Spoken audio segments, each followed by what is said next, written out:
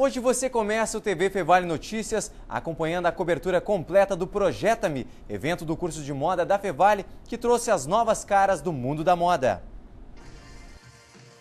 Moda, arte e tecnologia. 23 acadêmicos do curso de moda apresentaram suas coleções de final de graduação para uma rua coberta lotada. Ao todo, foram duas horas de evento que trouxeram 97 peças criadas pelos jovens designers.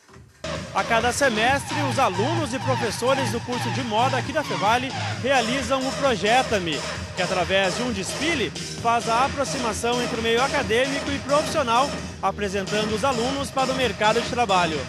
É, é um momento muito especial, porque mesmo que muitos dos nossos alunos já trabalhem uh, em empresas, já apresentem, desenvolvam produtos de moda, de fato, para a grande maioria, assim, para mesmo para esses que já trabalham, é a primeira coleção que eles desenvolvem mesmo deles, em que eles escolhem todo o tema, fazem toda a pesquisa, uh, desenvolvem toda a parte de desenho, modelagem, costura, e aí fazem o desfile e apresentam o seu trabalho de fato. É, é um momento em que muitas pessoas do mercado vêm uh, assistir ao Projeta-me para conhecer esses novos talentos também.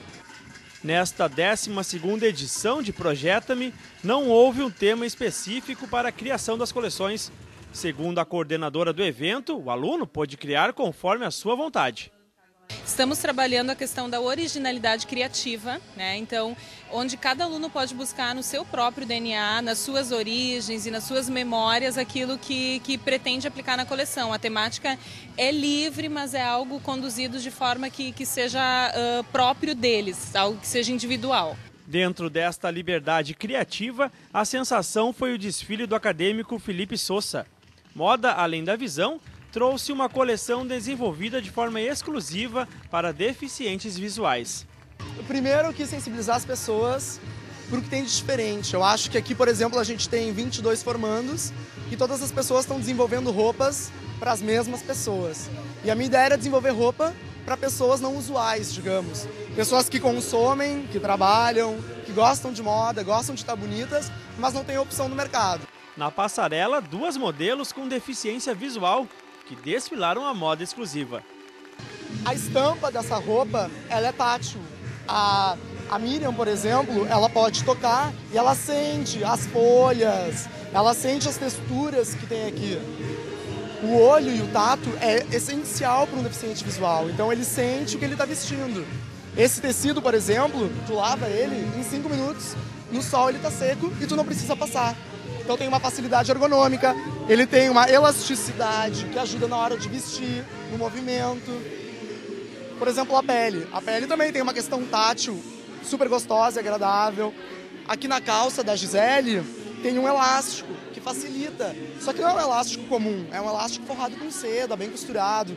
É uma roupa bem pensada, bem desenvolvida eh, para lidar com as capacidades e não capacidades delas. Miriam e Gisele, que viveram a emoção de pisar pela primeira vez em um palco de moda, conversaram conosco e não esconderam a emoção.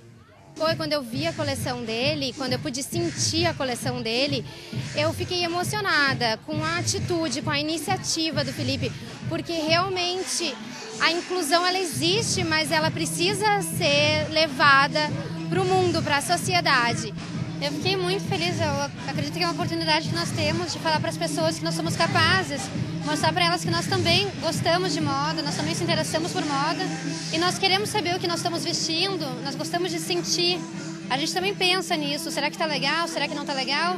E aqui a gente pode sentir, saber exatamente o que a gente está vestindo.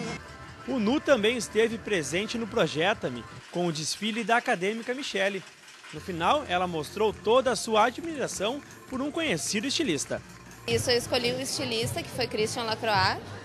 E esse é o motivo dessa noiva no final, porque no final de, de cada desfile dele, ele colocava uma noiva meio santa, que ele era muito católico, vestida de branco. Pela matemática ser o na moda e aborda justamente essa parte, tipo, da, tipo, da mulher hoje em dia não ser mais santa, não ser mais essa coisa puritana, tipo, é, então é justamente isso que eu quis mostrar, esse contraste. Quem perdeu a edição de inverno do Projeta Me fica atento. Em dezembro tem muito mais.